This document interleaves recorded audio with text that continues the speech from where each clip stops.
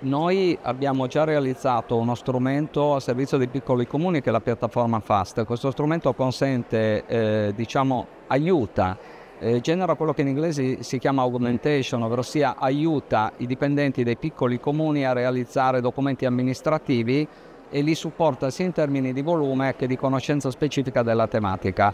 Però pensiamo che occorra fare molto di più occorre pensare e ragionare non tanto in termini di sostituzione di attività che oggi vengono svolte a livello umano, perché queste capiteranno in modo secondo me naturale, ma capire come estendere la catena di valore dei servizi affinché cittadini e imprese abbiano maggiore soddisfazione dal nostro operato. In particolare, se cito le imprese, noi dobbiamo lavorare sul fatto che loro siano incentivati ad aprire le attività all'interno del nostro paese e non andare in altri paesi.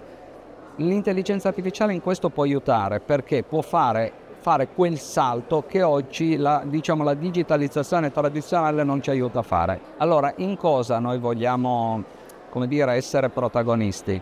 Soprattutto nella formazione. Pensiamo che sia importante dare innanzitutto una formazione di base affinché tutti possano salire un primo scalino. Perché questo? Perché la consapevolezza è fondamentale nel dare la libertà di contribuire nel modo più opportuno al cambiamento. Abbiamo realizzato dei webinar che abbiamo messo eh, a disposizione in rete e saranno presto a disposizione per tutta la pubblica amministrazione.